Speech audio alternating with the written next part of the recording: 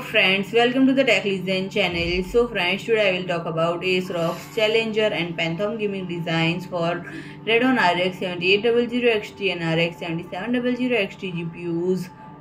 So friends, these offerings include the top tier Phantom Gaming and the mid tier Steel Legend and the entry level Challenger series and the Challenger series features a new cooler design housing two fans since these cards have not been officially listed on ASRock website. Yet we lack additional image or specification and friend as clock. Look hints at possibility that the Challenger GPU might incorporate dual 9cm fans as they are visibly larger than those on PG and SL models and the card's overall size remains fairly consistent with identical width and length defining only by a few centimeters and it's worth noting that the RX 7700 XT GPU is rated at a power consumption of 245 watt and are given that these cards are all factory overclocked there is likely still more thermal headroom available. And friend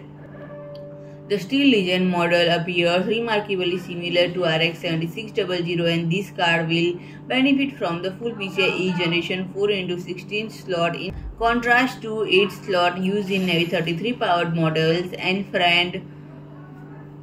the RX 7800 XT employs Navi 32 GPU boasting 60 computer units and 16 GB of GDDR6 memory, clock at 19.5 Gbps and operating across a 256-bit memory bus and its cheaper alternative.